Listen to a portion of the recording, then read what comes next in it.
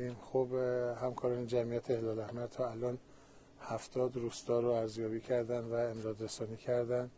مناطق شهری هم که متاثر از زلزله بوده در قالب اردوگاه ها این چادرهایی که الان می‌بینید برپا کردن. سعی کردیم فعلا تا جایی که امکان داره در قالب اردوگاه های اضطراری رو انجام بدیم. اون چیزی که تا الان برای ما امکان داشته همکاران آذربایجان غربی شرقی اردبیل کردستان قزوین زنجان و از تهران کمک اومدن. به مقدار کافی اقلام زیستی و تغذیه‌ای اعزام شده به منطقه.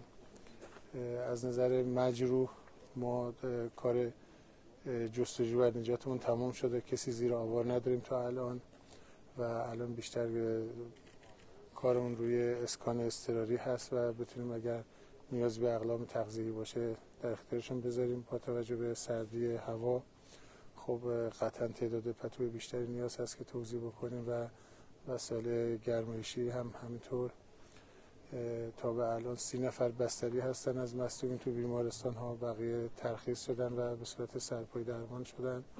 دو نفر متاسفانه فوتی داشتیم. 15 تا مشابه این اردوگاه تا حالا می‌بینید اردوگاه استقرارش انجام شده. خیلی از مردم در چادرها حضور دارن. قراره که تا 24 اردوگاه برسونیم انشالله تا ساعت آینده. بعد تمام چیزایی که لازم داریم و تا امروز دیگه حل میشه دیگه.